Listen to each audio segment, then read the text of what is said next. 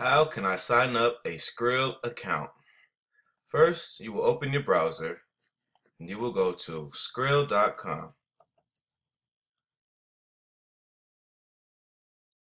Next, the top right corner, you will click the yellow button that says sign up.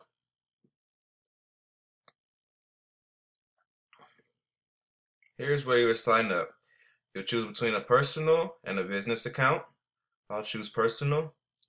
You'll choose your country of residence, your currency, select your language,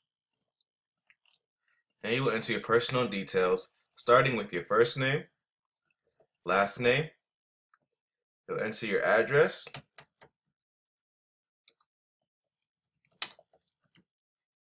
enter your city, your state, you'll enter your zip code,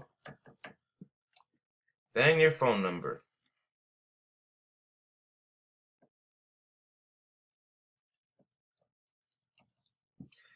And you'll click this purple button that says continue to step two.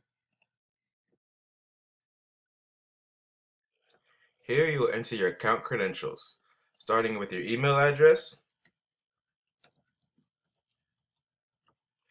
You enter your date of birth. Next, you will enter your password. And you will re-enter your password. Then you will verify that you are human by entering the text.